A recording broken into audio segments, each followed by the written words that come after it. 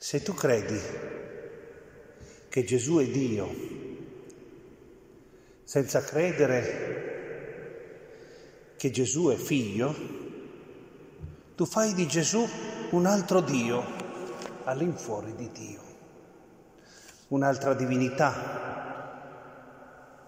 E contraddici il primo comandamento, non avrai altro Dio all'infuori di me. E se tu credi che Gesù è figlio senza credere che Gesù è Dio, vorrebbe dire che Gesù non esiste da sempre e che non è da sempre figlio di Dio. E allora tu non puoi chiamare Dio in senso letterale.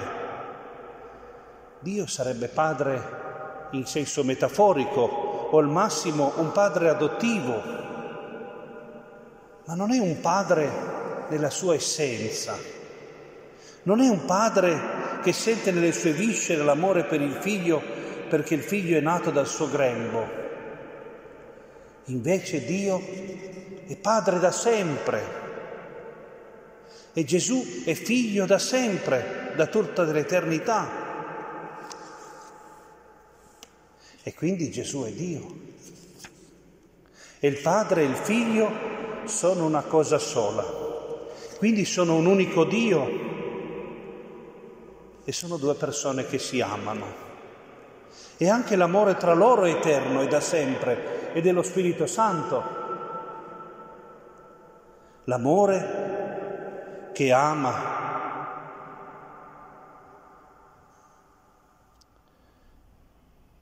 L'amore che è persona, lo Spirito Santo. È l'amore eterno che esisteva prima dell'universo e degli angeli. Chi crede in me non crede in me, ma in colui che mi ha mandato. Credere in Gesù è l'unico modo per credere nel, in Dio nel modo giusto. Prima di tutto perché credi che Dio è Padre da sempre, da tutta l'eternità perché da sempre ha un figlio, come abbiamo spiegato prima. E poi perché è solo guardando su Gesù sulla croce che tu scopri il vero volto di Dio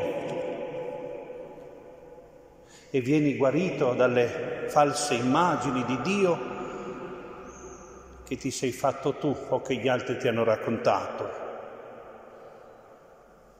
È solo guardando Gesù sulla croce che capisci come è fatto quell'amore eterno che è lo Spirito Santo. Chi vede me vede colui che mi ha mandato. Non solo Gesù è Dio, ma soprattutto Dio è Gesù. Dio è manifestato dalla carne di Gesù Cristo. Vuoi capire come è fatto Dio, che carattere ha, come si comporta? Guarda Gesù, e specialmente Gesù povero, Gesù che lavora, Gesù che serve, Gesù che si commuove, Gesù che ha misericordia, Gesù che guarisce, che Gesù che mangia e fa festa, Gesù che muore in croce. Dio è povero perché dona tutto. Dio lavora sempre. Dio si fa servo. Dio si commuove e perdona. Dio libera e guarisce. Dio vuole far festa per noi. Dio muore per noi.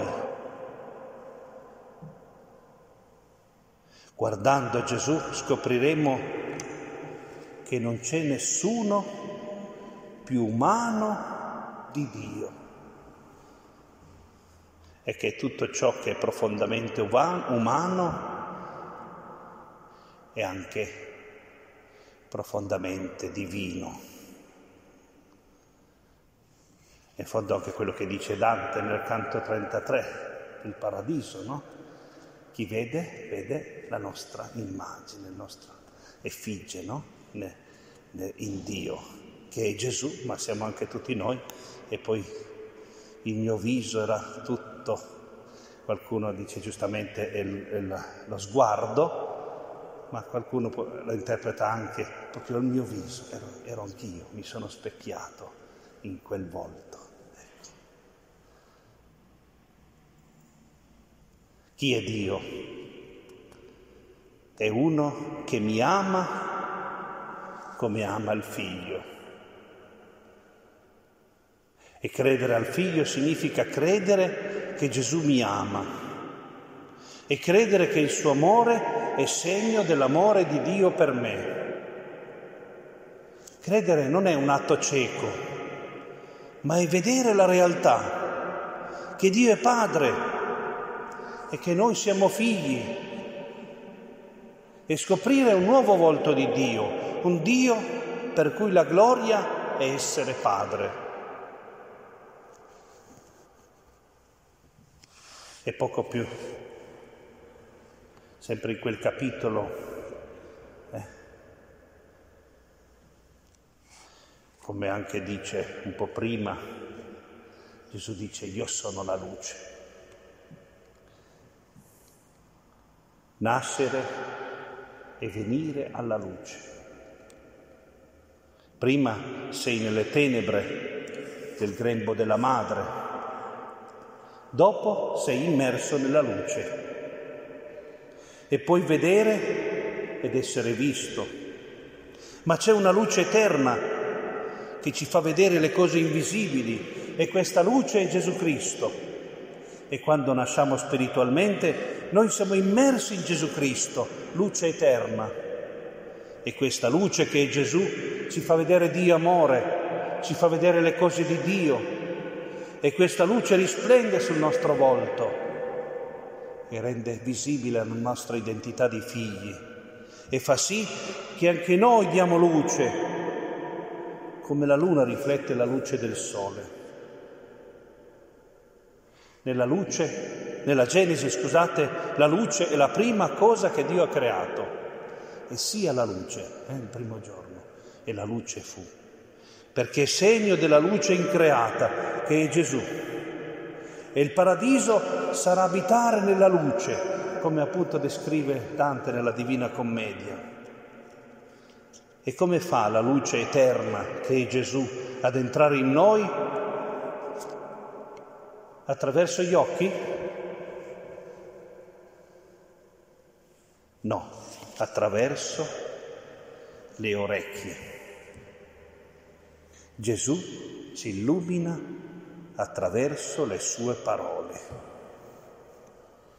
Se qualcuno ascolta le mie parole e le osserva e non le osserva, io non lo condanno.